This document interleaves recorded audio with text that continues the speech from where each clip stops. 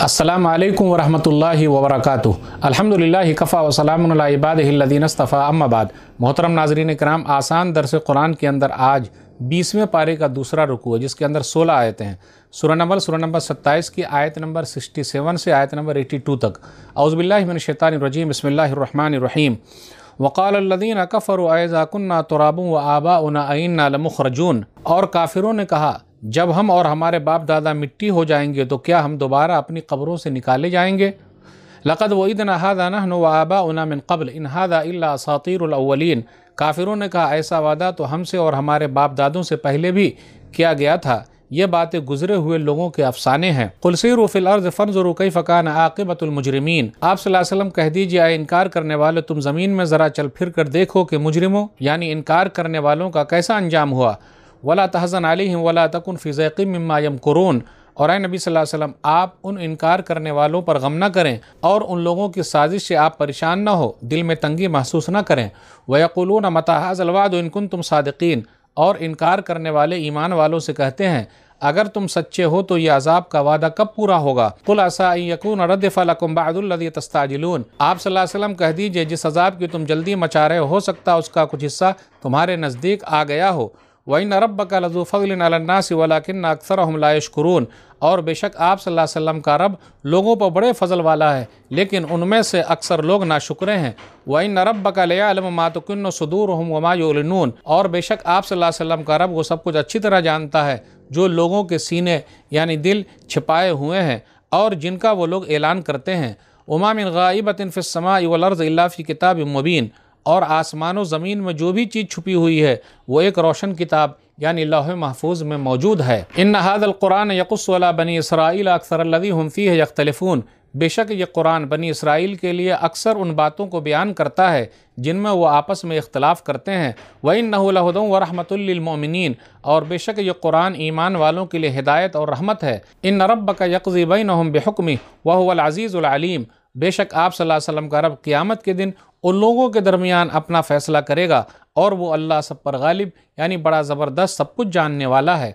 फ़तवक्ल इन नकार हक़मबीन तो ए नबी सल्लल्लाहु अलैहि वसल्लम, आप अल्लाह पर भरोसा करें। बेशक आप सच्चे और खुले दीन पर हैं। इन मुदबरीन बेशक आप वसल्लम मुर्दों को अपनी बात नहीं सुना सकते हैं और न ही ऐसे बहरों को अपनी आवाज़ सुना सकते हैं जो पीठ फेर कर भागे चले जा रहे हैं। वमा अन तबहादिलमियानज़लालतम इन तस्मन आयातना फ़हम मुसलमून। ए नबी अलैहि वसल्लम और नहीं आप अंधों को उनकी गुमराही से बचाकर सीधे रास्ते पर ला सकते हैं। आप तो सिर्फ़ उन्हीं लोगों को अपनी बात सुना सकते हैं, जो हमारी आयतों पर ईमान रखते हैं और मुसलमान हैं।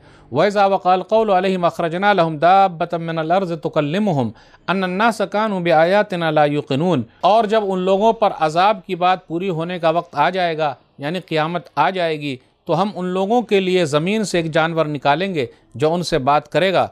बेशक लोग हमारी आयतों यानी निशानियों पर यकीन नहीं रखते थे। नाजरीन कराम आसान दरस कुरान के अंदर बीसवें पारे का दूसरा रुकू है, जिसके अंदर सोलह आयतें हैं। सुरह नंबर सुरह नंबर सत्ताईस की आयत नंबर सिक्सटी सेवन से आयत नंबर एटी टू तक।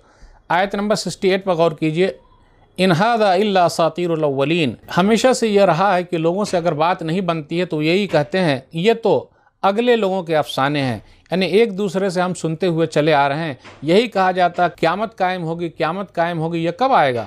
ये तो पुराने ज़माने से चला आ रहा है और ये किस्से कहानियाँ हैं। आगे अल्लाह ने कहा, आयत नंबर 69 पर गौर कीजिए कुलसीर फ़िलर्द फ़न ज़रूर कई फ़कान आकबतुलमजरमीन तुम ज़मीन के अंदर घूमो, चलो, फिरो, देखो झुटलाने वालों का अंजाम क्या हुआ?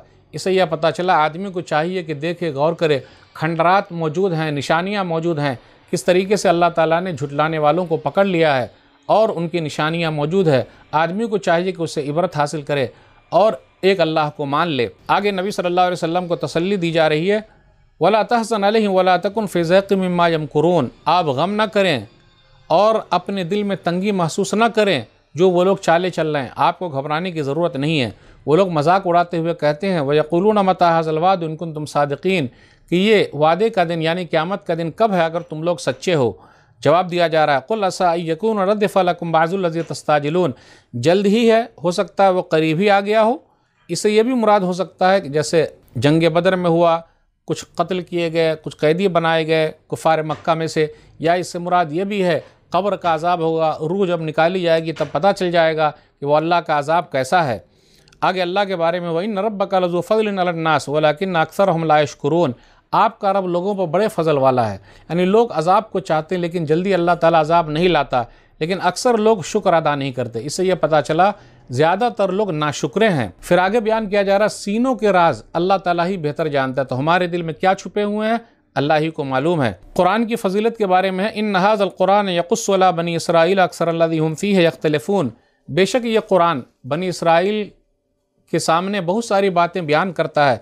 बनी इसराइल के किस्से बयान करता है, उनकी हकीकत बयान करता है, जिसमें वो लोग इख्तलाफ करते हैं। आगे कहा जा रहा आप अल्लाह ही पर भरोसा करें फ़तवक्ल अल्लाह, आप अल्लाह पर भरोसा करें।